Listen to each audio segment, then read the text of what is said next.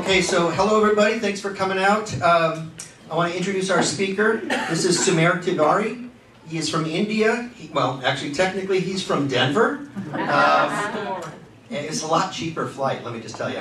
Um, as we this is my first year as the program coordinator, and um, I invited him because in my own mind, I don't know squat about fish from India and the surrounding area. So I thought it'd be nice to learn something. We know a lot about South America, we know about our African cichlids, but not a lot about Indian fishes. I found his name on the internet. He's got he writes for Amazonas magazine and he's got his own blog and just really neat fish there. So I invited him. He was able to come. He was very excited. He came out and spoke to San Francisco last night. If you like killies, apparently I know this guy looks young. I mean, barely fresh out of diapers practically, but. Uh, but he had made a name for himself by bringing some fish to, I guess it was to the bowl show at the AKA meetings, is that right? Uh, it was the it, it was the killifish show. The killifish show. And people were just blown away by the fish he brought. So even in spite of his youth, he has already struck a chord with a lot of people who are specialists in the field. Uh, we are really excited. Um, I'm really excited to have him. We're privileged to have him.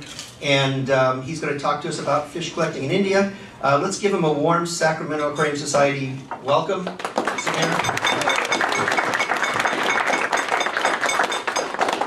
Thank you very much, Eric. Um, thank you very much for inviting me, and uh, thank you everyone for um, for coming out tonight. Uh, my name is Sumer Tiwari, and uh, I'm going to be talking about collection trip to the Western Ghats of India. Um, but before I start, a few questions. So, uh, how many people keep cichlids here, for example? Okay, a lot of people. How many people are into plants? Quite a lot. How many people keep killifish? A few. Okay, yeah, just general knowledge. Um, so that I talk more about some things and less about some other things. Okay, so uh, let's get started. Um, so before I tell you anything about any of things that I'm going to talk about, let's just watch this uh, small clip. It, I call it trailer to the presentation.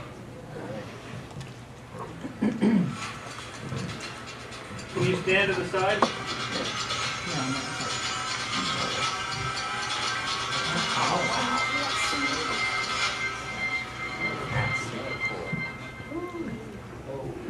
Nice. Um, so uh, I'm sure you guys see a lot of presentations. I see a name there I recognize maybe.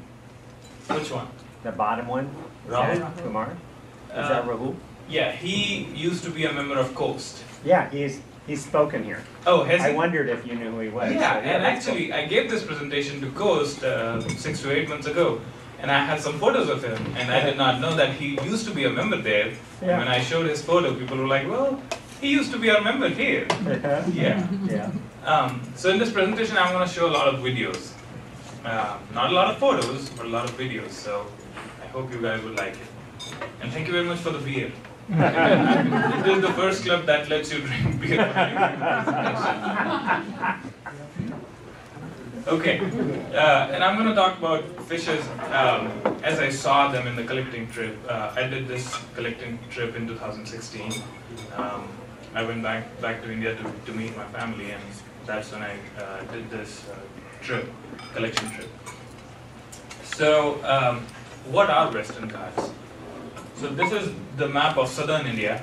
Um, of course, this is just the southern part, and you can see uh, small Sri Lanka there. So this part highlighted in orange. Can you all see it? Yeah. Can you stand to that side of the Sure. screen? Thank you.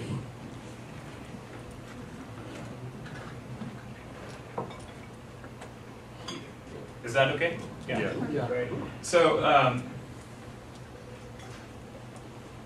this area highlighted in uh, in orange, it's a mountain range, and that mountain range uh, extends to Sri Lanka because Sri Lanka used to be part of the same plateau when before the the plates broke 68 to 69 million years ago.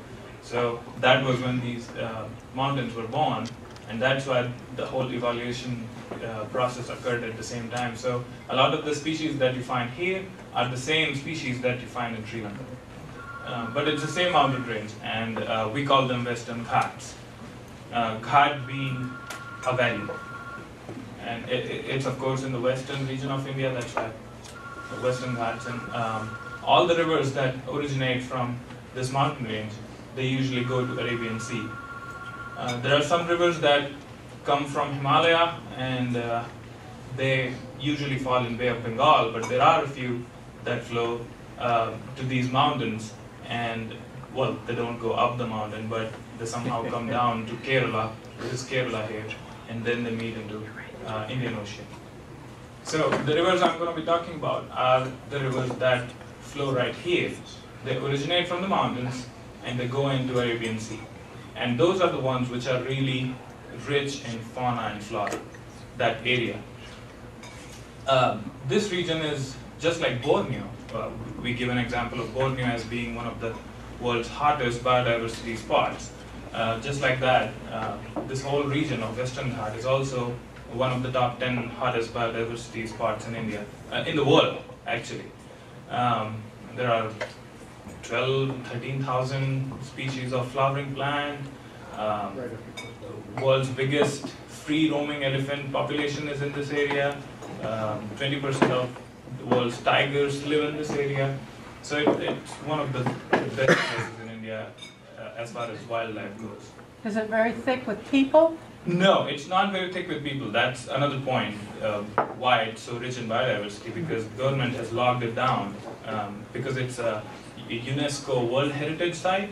So you cannot go and buy land there or do new construction there. It's um, just it's just gonna be wildlife. Um, mighty. Those are good looking mountains. Uh, so this is this how this how I went to India. Well, actually, I flew the other way around. I did not go over China. I went over the other way. Um, it takes a long time. It takes 20 hours. And then I landed in New Delhi, and I went to the central India where I where my parents live.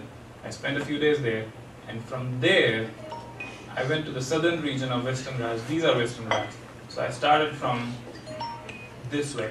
So I covered at least five spots in Western Ghats. This being the northmost region, and this being the southmost region. Okay, and the species that I'm going to talk about, they are in the sequence um, of how I found them. So this was the first species that I saw when I first went into one of the streams, uh, Nemachilus triangularis, and as a matter of fact, last year they changed its name. So the genus is no more Nemachilus, it's Mesonemachilus. Um, I wanted it to change, but I did not, because that's how I found it. It was Nemachilus when I found it. Um, Nemachilus triangularis um, doesn't get bigger than 4 inches, very peaceful, algae eater, um, very abundant in the area. um, here's the sister species, Mesonemachilus stigmofasciatus. Um, a little different looking fish, same habit, same feeding habits. It has these dots on the lateral side, and they live uh, close to each other. In, in any given area, you can find both of them. I don't know why hybridization doesn't happen, or maybe it is uh, a result of hybrid, hybridization with a third Nemachilus species. I don't know. Um, here's another good-looking uh, Garra. It's Garra mullya. Uh, beautiful orange fins, some orange on the lateral side of the body. Very sleek-looking fish gets really big, can get about six, seven inches, really fat. Loves eating algae. You and I have a different definition of really big. oh, well, I'm going to show that too. Um, this is another Garra species, no one knows what it is. Uh, it should be described. And we found a lot of species. In, in, in that region in India, there's a lot of uh, work to be done. There's a lot of fish uh, that do not have a name yet. They're just being called species, something. Um, and scientists are continuously working on it, and they're changing the genus just like Nemachilus became Mesonemachilus. Um, we used to be uh, we used to call uh, the the red line torpedo bar. It used to be Puntius denisoni. That's how I knew it. But it's not Puntius denisoni an- anymore. It's uh, Sayadrin, uh, Sahyadria denisoni. So it's a work in progress. Yeah, Is that like in the catfish area, or, yeah, it is. okay, Yeah. how big is it? Uh, this one was about two inches, I would say. Garra are cyprinodons, they're not catfish. Garras are They're not catfish. they're not catfish. No, they're minnows, they're cyprinodons. Related to suckers, catastomas? Maybe so. Yeah, they are. Okay.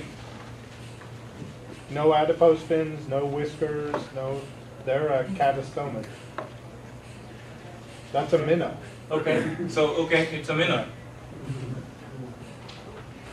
Uh, canarensis. It's uh, it's just like i i I think it's related to barbs. Yeah, Right. same family. Yes. Barbs are minnows too. Um, with a lot of other barbs that we find in India, um, we also find a lot of Barilius species. Uh, canarensis being one of them. Uh, gets about three to four inches. Loves warm water. Uh, 75, 76 to 78 degrees. A lot of people that keep discus uh, like to put these with discus.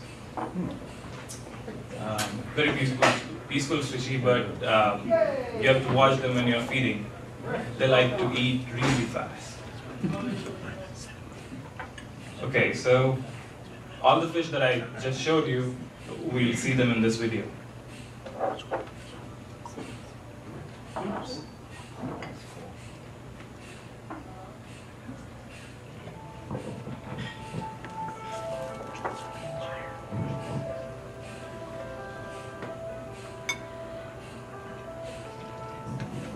So I'm going to tell about um, the, the stream that I'm in. It's about three to four feet deep.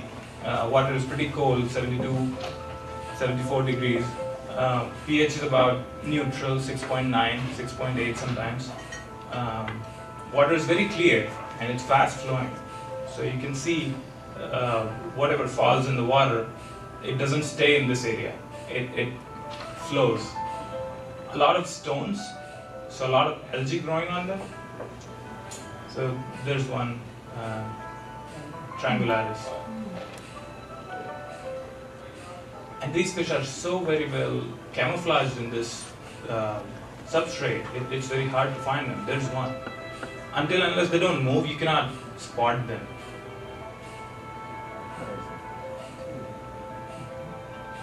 There are a few.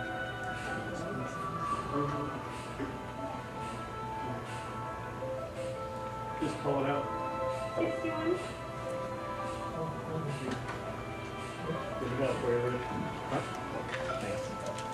it- So here's Stigmofasciatus and these are Triangularis. They're different species. You can see the dots. You said there was a third species there that they might be hybridizing with? What's the third species? No, I don't know if Oh. there's a third species. Gotcha. One of these might be, Sure. Yeah. Understand. Do they tend to school together or just swim individually close to each other? so Stigmofasciatus that I saw, I saw uh, them individual. I did not see a bunch of them. But Triangularis, they were always in a bunch of three to four uh, fish together. Thank you. Did you see any breeding? Of uh, Nemachilus? No, I, no, I did not. Um, this is my favorite fish in India. It's uh, Etroplus canarensis, um, one of the three species of cichlid found in India. And a lot of people like to keep these. Uh, there are some people in Coast Fish Club that have this. Um, a lot of people in Canada, Garra mullya. A lot of people in Canada have Etroplus canarensis, one of the most sought after fishes that come out of India. It's a beautiful fish. Yeah, and this is a juvenile, about three months of age. Um, it hasn't lost its uh, fall side. Um, I'll show more videos and photos later of the adults. Did you bring those back?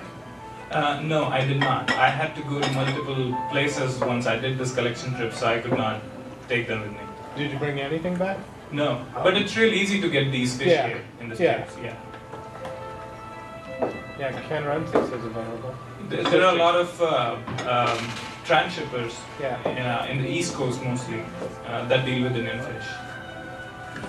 How's the water temperature there? Uh, it was 72, 74 degrees. a little cold. But this was also in winter in India, so that's why it was cold. As it gets in the summer, the water gets high, uh, hot, 76, 77 degrees.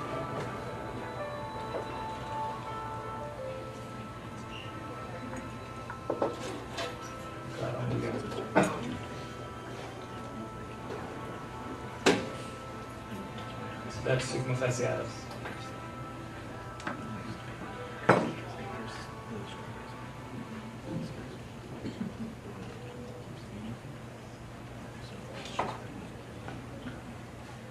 Are there big predators of these small fish? Um, no, there are birds that you can call predatory birds. For example, kingfishers or uh, uh, what do you call them? Herons and egrets. Yeah, the, the white bird with big Yeah, egret. yeah egret. Yeah. Yeah. Uh, but uh, I, I, we did not see any other fish, uh, predatory fish that would eat these fish. Uh, Dawkinsia similis, a beautiful bar. Uh, we find some of the Dawkinsia exclamatio here, we call them exclamation barb, and those fish would have this marking and another black spot right here on the tail. It looks like an exclamation mark. Um, these are sister screws, beautiful uh, scissor-like tail, very fast. Uh, marginata. Uh, it looks like a cichlid, it's not a cichlid. Um, it's also called uh, almond eye marginata. For some reason, people find an almond in their eye. I, I don't think there's an almond in their eye. Samar, is, is Hayat also from the Bay Area? Uh, Hayat is, yeah, yeah, he Yeah, lives okay. in Karnataka, yeah. Yeah, okay, I, I know him. Yeah, yeah, he's a good friend. yeah, Yeah. And uh, he's one of the pe- people in India uh, that specifically like to work with native fish. uh-huh. Um, so that's why he has some great photos of native fish. Uh, this is one specimen that we caught. That one's real dark. Or is that just an artifact of being collected?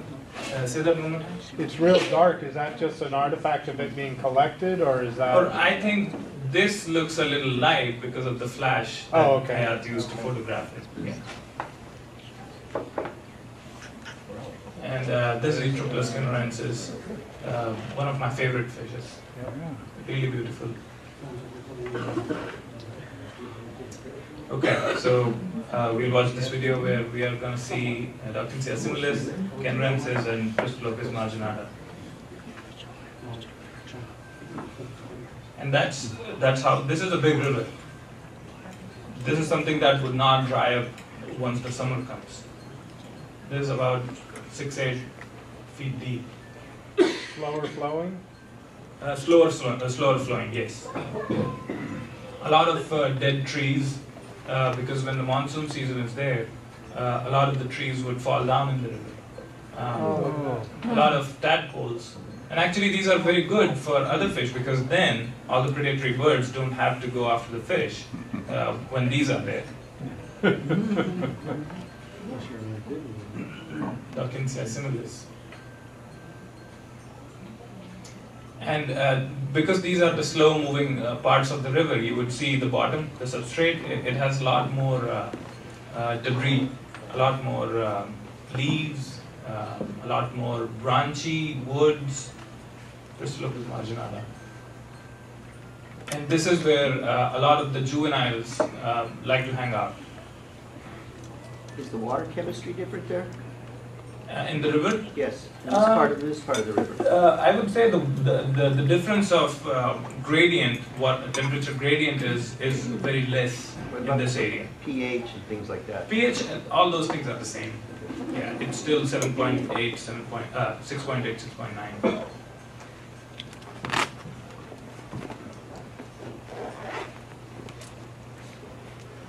Um, and then as we move forward, um, we got to see this beautiful goby, Sicyopterus griseus. And it's a algae scraper.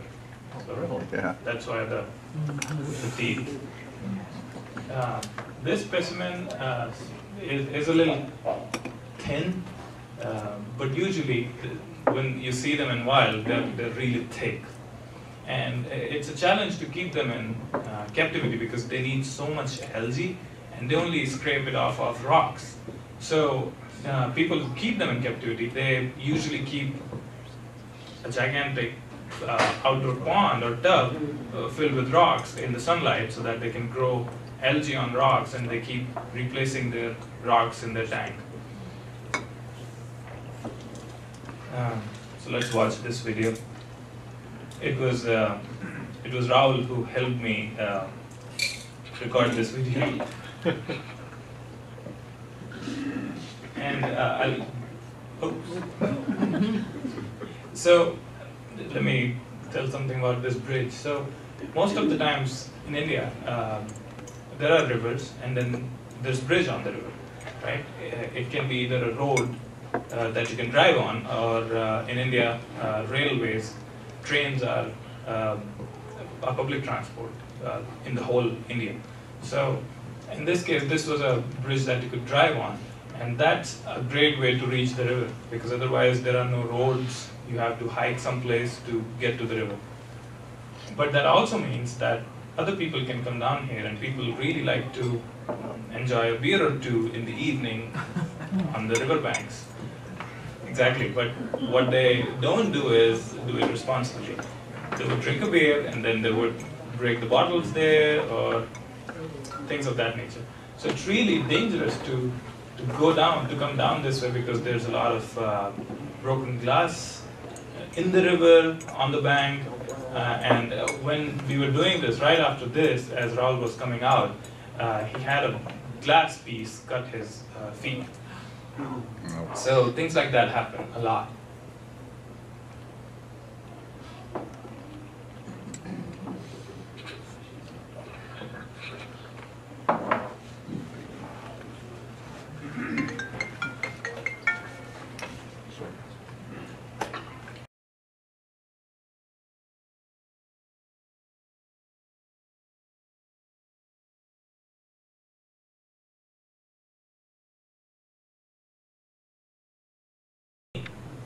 Something that only bugs can smell, maybe. Maybe it's a pheromone, Uh, I don't know. yeah. But very interesting to see all those bugs. Well, that's how they reproduce, right? That's how the plant uh, germinates. Um, some sort of uh, moss that I brought back. Is that a, live in underwater too, Uh, it was underwater and out of the water. So it was on the side, uh, underwater as well and out of the water. It looks like a dictoya of some sort. Do you know it's what in my it is? aquarium. It's it's doing okay. Uh, it's not dying, but it's not really growing either. Do you see CO2 and the whole, Yeah. Looks like a liverwort almost. yeah, maybe it's a, or a true fern maybe, I don't know. Um, a lot of mosses of this kind. I collected some, brought them back. They grow like anything. They would cover all your filter when you open your filter to clean. They have blocked the whole pump. it's a weed. It looks good here. In a tank when it's just taking over every other plant, it does not look good. Oh, uh-oh, I'm sorry. Ooh, Shannon. Yeah, don't turn the Shannon. Okay. Uh, I'm gonna. You saw that? Yes, I did. Oh, what's Okay, that? so now I'm gonna talk about a few fish that Uh-oh. uh, I did not uh, really collect in this trip, but they're from India, and that's why I thought it's uh, it's important to, to tell everyone that these fish are also from India, because a lot of the times people don't know. Oh, tiger barbs, they're from India. Oh, we didn't know that. This fish is from India. Oh, we didn't know that. So this fish is also from India, and uh, there are a lot of uh, articles written about them, uh, them being Dracula fish. So they have these gigantic fangs uh, when they open their mouth, and I don't know what the significance of that of those fangs is. Um, but this species is also famous for having a gigantic uh, gonopodium. So when they breed, um, it's a it's a sight to watch. But anyway, So it's a live bear? No, No, it's you not said a Gonopodium, so I thought, Yeah, no, it's not a library. okay. Um, and they have this transparent body, and their tummy is also transparent. So um, one of my friends that keep these and breeds these, um, he was telling me about this really funny thing that if you feed it three times with three different color food or multiple different color food, you can you can see these layers in the tummy of different colors. So he basically feeds these fish different colors and take photos of them uh, just for the fun of it and shows different countries. He, he tries to make flags. Thank you so much. Thank you. These paintings. It's fine, thank you. Um, so here's Pseudoetroplus maculatus. They're not Etroplus, they they have been changed to Pseudoetroplus maculatus. And uh, these fish, we did not find them in the fresh water. Uh, they were found very close to the, to the ocean. Uh, the water was almost brackish. And in, in these photos, they, you don't really see the yellow on them, even in this photo. But uh, let's watch this video of a pair uh, with a clutch of eggs, and you would see how beautiful yellow they have. And in this uh, brackish water, there were thousands of them. They were breeding non-stop. You can see how many of them are in there.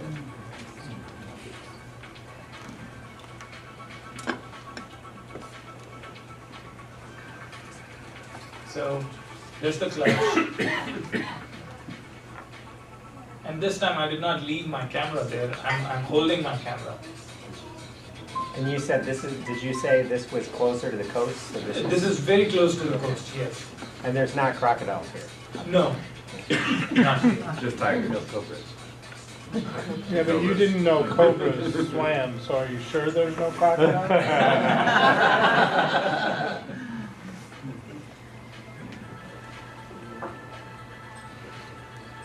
Made it back alive. Ron, they're waving at you. And, and these eggs were the same way. You were asking about eggs moving. should wait. These eggs were the same way. But these eggs were a little bigger than uh, Etroplus canarensis eggs. They were bigger, Yeah, but this is a smaller fish, right? the the eggs were bigger than Etroplus canarensis.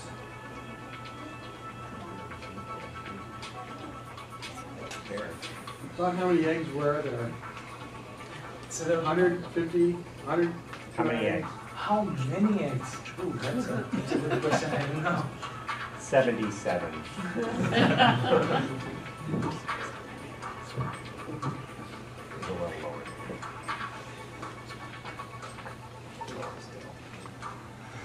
And I forgot to tell, um, Etroplus uh, suratensis uh, love to eat eggs of Etroplus canarensis. So they, they both live close by, and one fish likes to eat the eggs of other fish.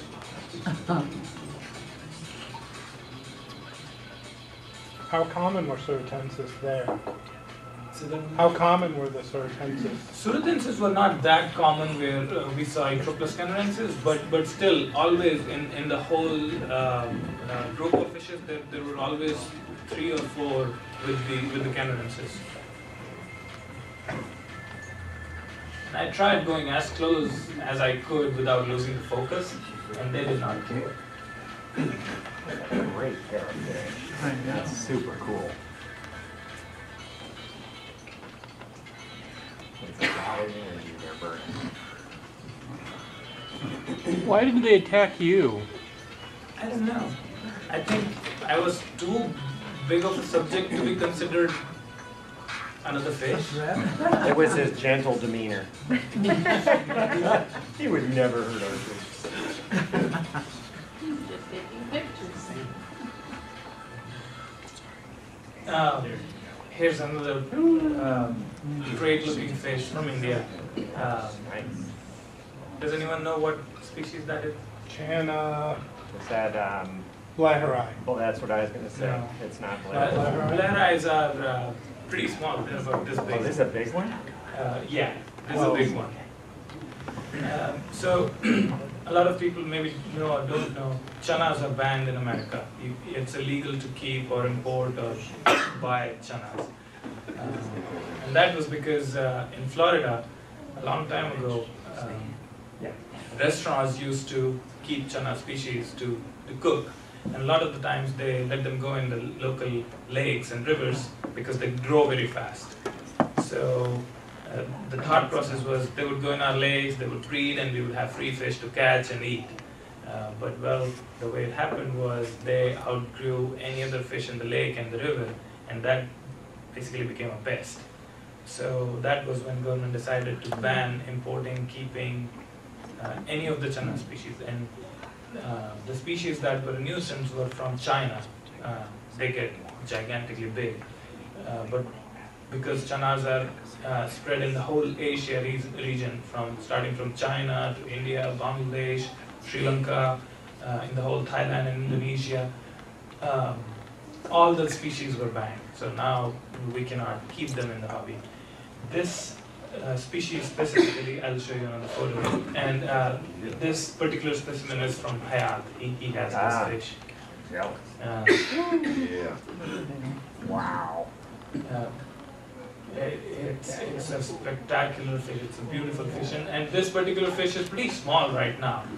Um, and they're very expensive. It's only found in two spots in India, in the in the very eastern region, uh, and it's so remote that every year the collectors collect maybe 20, 30 specimens. That's that's it. And that even that when the water levels are really down, and in the monsoon region, region uh, in the monsoon season, it's almost impossible to go in that area. Um, so the, the price of this fish can be anywhere from two thousand dollars to five six thousand dollars, one fish. And the problem is no one knows what it eats in the in the wild. So when you're keeping it and feeding it, all you're doing is just guessing that okay this is what it might eat. And because it's an expensive fish, of course you don't want to kill it. So uh, I had another friend, his name is Vyas. Uh, he had uh, a fish like this. It, it grew, it was beautiful, and one fine day it just died. So he, he took it to the doctor to do, uh, what do you call it? Autopsy. Autopsy. And when, when the doctors looked into the arteries, they found a lot of uh, uh, fat, basically, uh, that was blocking the arteries. So that has given me some insights that it does not eat a lot of uh, fatty foods. So now when Hayat is keeping it, this, this is my friend, a good friend.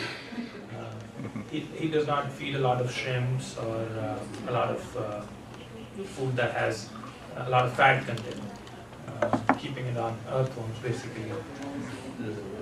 And uh, I have a I have a friend who's a transhipper, and uh, in the last season he collected this fish. That is how big it can get, and it's a beautiful fish, just like discus. Uh, when you enter the room, comes to you, lets you pat, uh, pet it. Very beautiful. Bite your finger. It does not bite your finger. It doesn't? Well, I'm pretty sure it can. I think it'd take your fingers right off. The videos on Facebook show them biting. Yeah, they bite stuff in It's, half. okay, the video that recently has been going uh, going around, that's not a Channa barca. This is Channa barca. That's fake news. Alternative. Okay. That's the thing. Thank you very much. Any questions?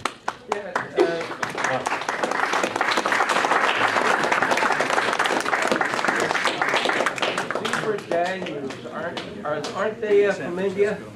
The Danios? Danios, yeah, Danios are from India, but not in this region. Danios are find, uh, found more in uh, central and eastern India. What about, uh, Zebra Danios, right? I'm sorry? Zebra Danios. Yeah. Yeah. Yeah. I was just curious if there were other kinds of Danios, because I've only seen the zebras, I've never Uh, seen any other kind. Those are the only ones. And then we have a pink strain in aquarium hobby. Yeah. Those are not natural. You had a bunch of fish up there too that were Garra. Yes. Uh, where did the Garra rufa or the doctor fish fit and all that? Is that in that, do you have them there? Garra rufa is from India. Um, but which region I'm not sure. Yeah, Dr. Fish, that is has got a roof, but that when you go to fish spa, that's the fish you find. Yeah, Yeah. it's from India.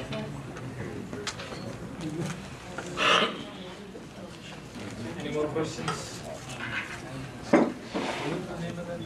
One more? Channa barca, B A R C A, Barca.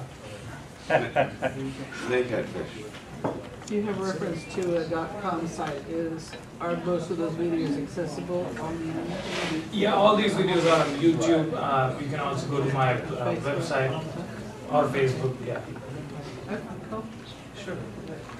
There's, there's one thing that I was wondering, the last fish that you showed, where we were looking at the top view of it, it looked like a salamander. Is there a genetic evolutionary, maybe, between the two? Uh, between uh, this? Yeah, No, no. Uh, Because it looked like it's an just oversized a salamander. salamander. They can't top. crawl on land though. Look at this. It does not look like a salamander. But you're not saying the person on the right is a salamander. Maybe the the one that. what's he, what is he holding? A baby. Oh, okay. Maybe. I, I thought it was a stuffed toy or something from, That's dad and daughter. That's his daughter. oh. Now, they will bite your finger. Yeah. daughter would, right? Yeah. That was, that was awesome right there. Well, let's have another round of applause for Sumer. Thank you so much. Now he gets to eat dinner because he hasn't eaten yet. So before we move on, there was a couple announcements I meant to say. I started to say it, but understand you hired someone who's got ADD, so I did not finish my sentence. Um, I mentioned that I invited him because I knew nothing about Indian fishing. And I thought you might enjoy that too. But what I meant to finish that with was we still have a few openings in our schedule for this year. And so if there's a subject you would like or a person you would like us to invite, please pass that information on to me and I'll see what I can do. We were looking for a speaker for August and for November. All the other months so far are pretty much booked up, but August and November are still open. And so if there's something you would like to hear about, I'll see if I can get someone lined up. The second thing I meant to say is, I mentioned that Sumer um, writes for Amazonas Magazine. Amazonas sponsored his trip here today. Um, they gave us a bunch of back issues of their magazine, so if you'd like to help yourself, they're free, they're up on the front table. And, and there's also all the Zoomettes from last month, when we had Rusty here too. And, and a whole bunch of stuff, help yourself to that. And also on our raffle tonight, um, Amazonas Magazine gave us two um, one-year subscriptions to the magazine. If you pick those, it's a $29 value for the subscription. You get both a print copy of the magazine and an electronic copy of the magazine. So there's two of those up here as well as part of today's raffle. So buy your raffle tickets, but not too many because I want to win some stuff too. Okay? Nice job, Eric. Not him, not me, him.